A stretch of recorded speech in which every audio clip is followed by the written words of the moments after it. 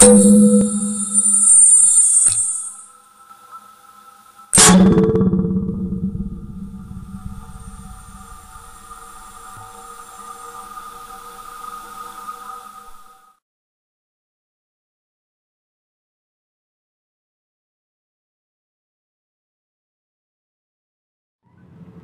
I'm Rusty Ham. Welcome to the Echometer training video series. Today we will show you the basic steps to shoot a liquid level using the Total Well Management software.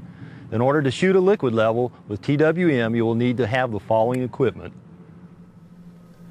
Well analyzer, laptop computer loaded with Total Well Management software, remote fire gas gun, pressure transducer, transducer solenoid cable,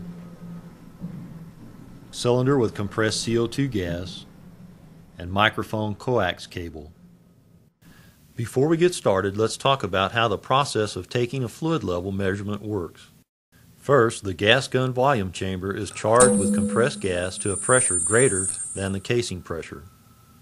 The TWM software opens the solenoid gas valve, releasing the pressure charge from the volume chamber of the gas gun into the well bore. The acoustic pulse generated by the release of pressure travels down the casing, reflecting off of tubing collars and other changes in cross-sectional area. The depth from the gun to an anomaly in the casing annulus is directly proportional to the round-trip travel time for the acoustic pulse to travel from the gun down the casing gas to the anomaly and reflect back to the microphone in the gun.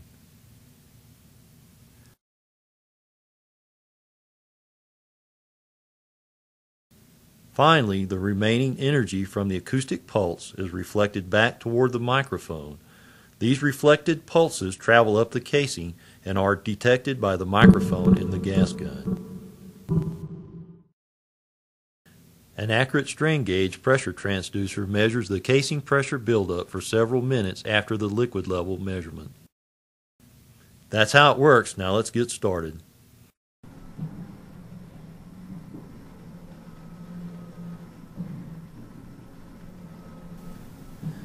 Out at the well, our first step will be to inspect the wellhead valve for corrosion, wear, or damage. Check the pressure at the wellhead. Don't exceed the working pressure of the gas gun.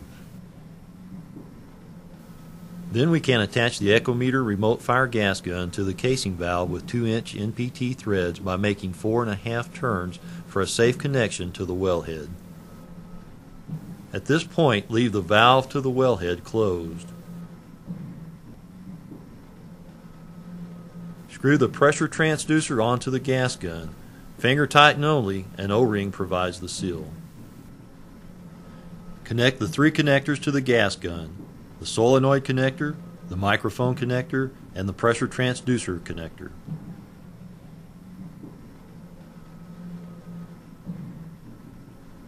Open the well analyzer and connect the microphone cable and the main cable to the well analyzer. Turn on the well analyzer and wait for the green power light to turn on. Finally, turn on the computer. When the laptop computer has finished loading, start the TWM software by double-clicking on the TWM icon on the computer desktop. Verify TWM is in Acquire mode by clicking the Acquire Mode button in the top left of the screen. Click the Setup button on the left and then select the Equipment check tab. The display of the well analyzer's battery voltage indicates that the computer is communicating with the well analyzer. Now we need to set up the sensors. Click on the Acoustic Sensor tab. On the pressure transducer, check the serial number on the label. Select that serial number from the list on the screen. Also set the pulse type to explosion and enter the gun serial number at the bottom. The casing valve between the gas gun and annulus should still be closed at this point. Open the bleed valve on the gas gun to release any pressure between the gun and casing valve. Zero the pressure transducer by pressing the button marked Obtain Zero Offset. Once the present zero offset reading has stabilized, press the button again to update zero offset with present reading. Open the base well file for your well. Then click the Select Test button.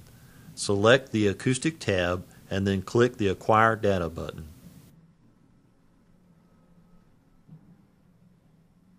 We will prepare to take a shot by following the steps in the instructions panel on screen. First, charge the gas gun to a pressure that is at least 150 psi above the casing pressure. Second, close the gas gun bleed valve. Third, open the casing head valve between the gas gun and the annulus.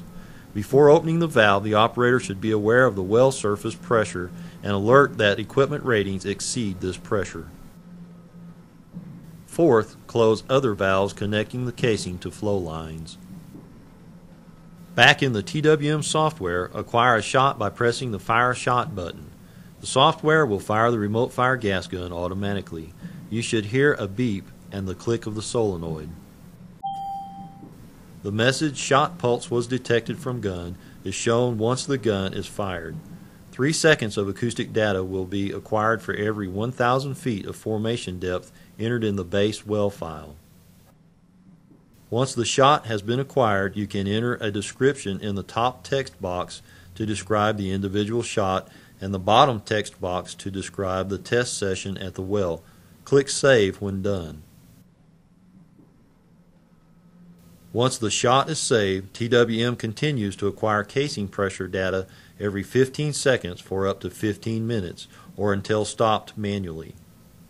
When the data is saved, go to the Select Liquid Level tab in the Analyze section. TWM has calculated and selected an acoustic reflection as the best liquid level. Use the left and right arrow buttons on the screen to fine tune the selected liquid level. The box in the lower right shows a close-up view of the selected liquid level. Now go to the Depth Determination tab. Here TWM displays the calculated depth to the previously selected liquid level, which is indicated by a vertical line labeled LL. The depth to the liquid level is calculated using an average acoustic velocity determined by automatically attempting to count all of the collars from the initial blast to the liquid level. The vertical line labeled C indicates the depth to which TWM was able to count tubing collars. The average acoustic velocity is used to determine the depth for any portions of the acoustic trace where TWM was unable to count collars. Other analysis methods may be selected from the Depth Determination tab to determine the depth to the liquid level. These methods are a manual collar count, downhole marker, and acoustic velocity. Now click on the Casing Pressure tab.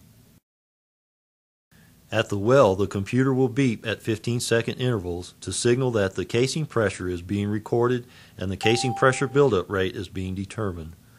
The casing pressure buildup test is usually recorded for a time period of 2 minutes.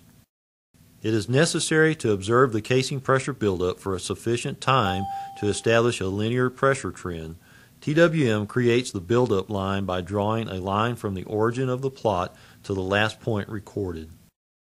If the buildup line does not fit through most of the data, wait for more points to be plotted and stop the buildup when the line makes a best fit approximation through all of the points.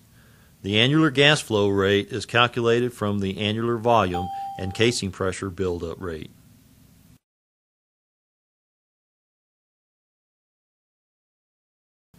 On the collar screen, you can check the depth to liquid level, but is not necessary to review this screen because information is displayed on other screens.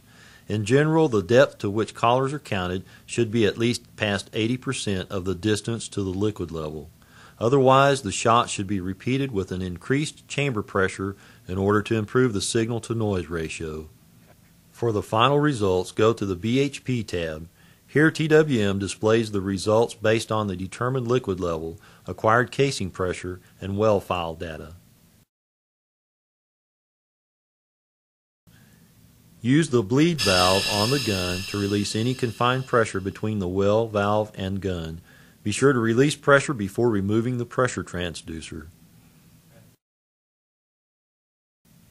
Please refer to the Echometer manual and online resources at www.echometer.com for a more detailed discussion of the analysis and calculated results. Echometer hopes you found this video informative. Thanks for watching.